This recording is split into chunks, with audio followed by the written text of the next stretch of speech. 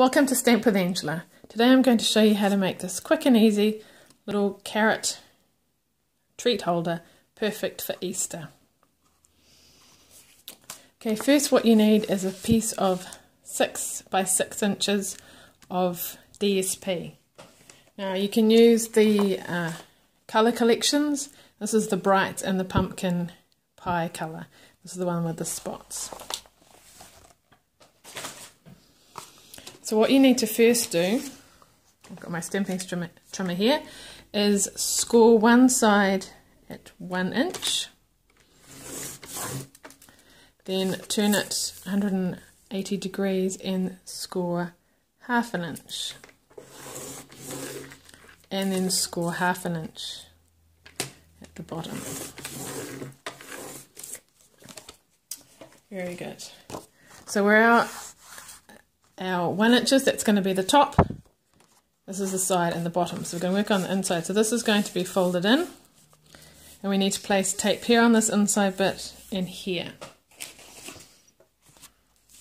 So you can use tear and tape. Here's one that I've got ready to go. So tape here and tape here.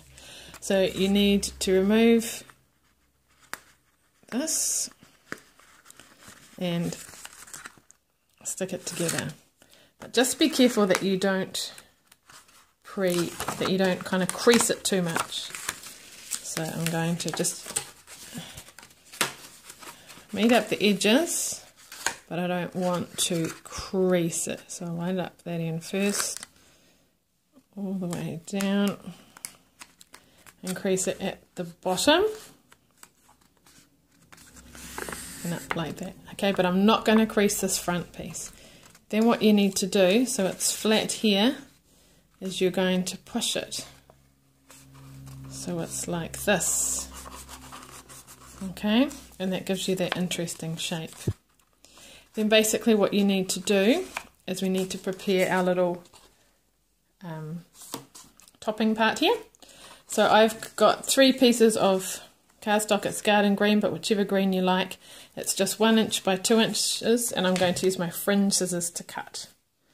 So I'm just going to go down most of the way, like this. I just need a little bit to uh, staple to. Like that. So on three pieces.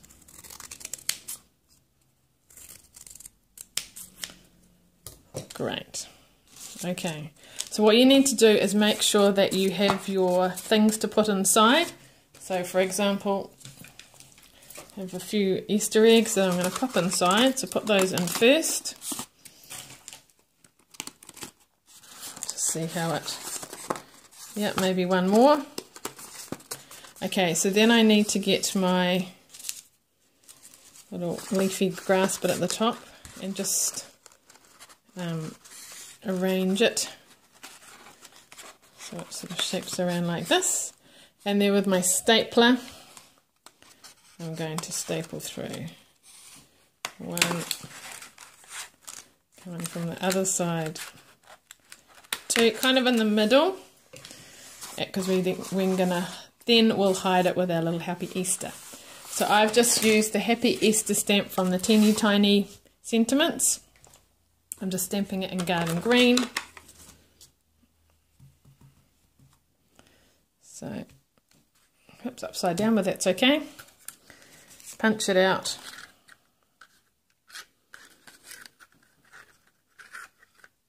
This is where I need my post-it note to hold on to it for me. There we go. And a couple of dimensionals. And pop it on.